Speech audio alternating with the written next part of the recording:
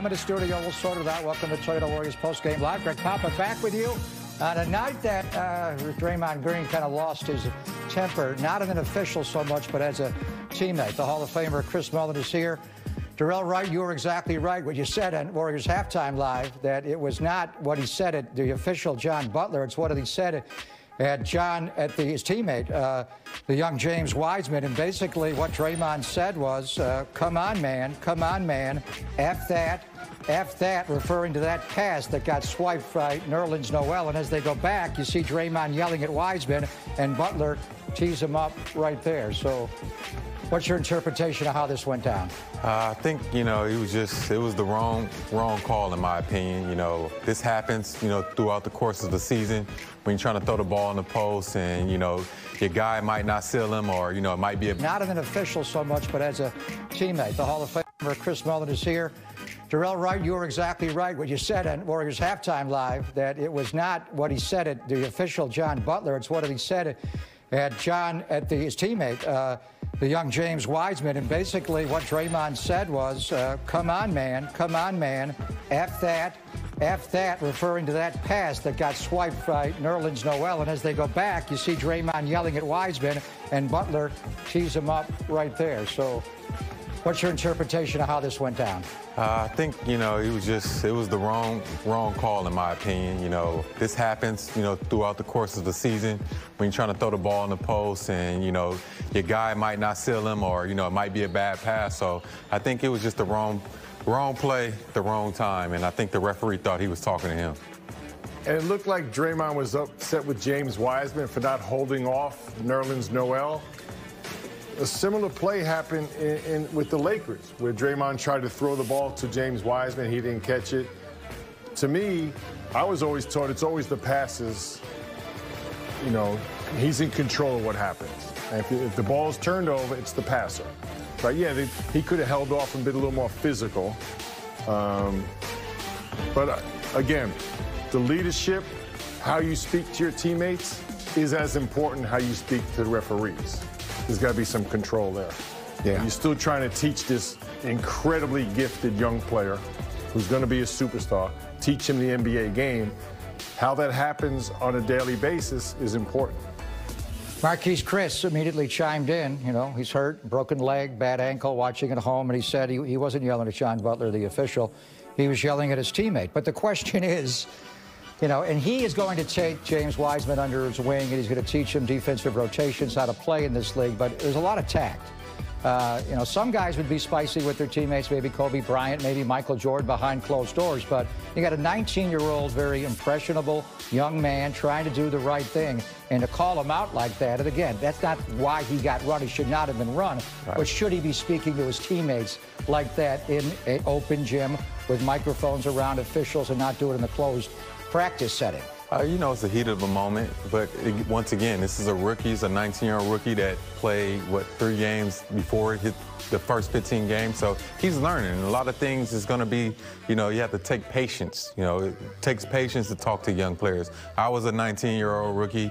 I wasn't playing as many minutes, important minutes as James Wiseman, but it is ways that you can, you know, relate things to your teammates and let them know, hey, you, you need to do this, you need to do that. So it, it's different ways to, to, you know, express your feelings to your teammates. I, you know, at halftime, Dorell and I spoke to Tim Hardaway Sr. He was similar to that. He was very outspoken, uh, very competitive, very fiery. Um, but there is a, a there's there's a tact, as you said, to how you approach guys. James Wiseman seems like he's a sponge. He wants all the information, and how that's relayed is important. And everyone has their own style, right? Everyone, you got to be true to your personality. Steph is very laid back. Draymond's a fiery, competitive guy. Uh, and that may be their relationship. I don't know what goes on behind closed doors. Yeah. Uh, how do you think this is handled among the coaching staff? Does Steve say something to Draymond? Yes, we got it wrong. Maybe we should have a mechanism to challenge this and look at this and go back and listen to the audio. Hey, John Butler, he's not yelling at you. He's yelling at his teammate. But why is he yelling at his teammate I, I think like that? Sure. Is that something Steve should bring up to Draymond? I'm, I'm with Dorell. I think it was totally the wrong call by the referee. Draymond Green should not have been ejected. Um, yeah, so I think that should be a challengeable call. And I think they could easily go, they go, they have the audio, as you said. They go to the screen, they go to Secaucus. It was just uh, because we had we had another play where Bullock missed that layup and it was inadvertent whistle. That's really right. what it was. It was yeah. inadvertent whistle, yeah. and they could have changed it. Yeah. All right, so James Wiseman played on after Draymond got ejected, and we thought, you know, arguably his best game as a young pro last night against LaMarcus Aldridge. We knew it would be difficult, way more difficult tonight against Mitchell Robinson, Dorell, but he played well tonight. He went 24-47. He had 15 points. He had eight rebounds, five of nine from the floor, made five of seven from the free throw line, and he was active, and he got a lot of run after Draymond was, was run late in the game. Yeah, I thought it was a good game for him, you know, especially especially seeing two young, good shot blockers. Uh, Nerlens Noel, who's known for his defense, and also Mitch Robertson, who's known for his defense. So I thought he did a pretty good job with, you know, holding his own against these guys and going, you know, attacking their bodies like we talked about in pregame and trying to finish over top of them. So I think he had a pretty solid game tonight. Another learning experience after playing against Anthony Davis, Marc Gasol, LaMarcus Aldridge. These two young fellas, as, as Dorell said, Nerlens Noel and uh, Mitchell Robinson, similar to uh, Wiseman in yeah. stature, a very yeah. similar uh, style of play. I thought he did a good job. Every night I watch him, I see a lot of positive. I, I don't, I don't really see the negatives with him. So you lose Draymond Green, and obviously your defense eroded. It wasn't good in the first quarter. It was better in the second quarter. Then in the second half, it fell apart because you don't have Draymond. But he also does so much offensively, sets the high drag, the screen for Steph. They run the offense through him. So Steph's role in the second half changed, and they had to bring Nico Mannion in right away to get in their ball handler to get Steph off the ball in the second half, minus Draymond. I really thought offensively they were really figuring. Is playing really well, but James Wiseman getting better and better. And last night, his best game of the NBA in Game 14 when he scored a, a so far career high 20 points. Earlier, Kerith Burke caught up with Theo Robertson, a former Cal Bear who is now one of Steve Kerr's player development coaches in charge of grooming James Wiseman's game. The best is yet to come. Do you let yourself get a little excited about his potential? Do you see his career maybe two years down the road, three years down the road, four years down the road, and think this kid is really special? Um, obviously, I think we all think he's an extremely special player. I have no idea uh, what his feeling would be. I wouldn't even want to put anything out there in terms of, you know, what that might look like.